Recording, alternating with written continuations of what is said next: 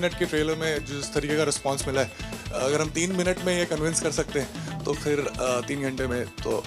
अच्छा ही लगेगा मोटू पतलू है वैसे ही एम एस धोनी भी बच्चों में बहुत ही पॉपुलर है आ, मैं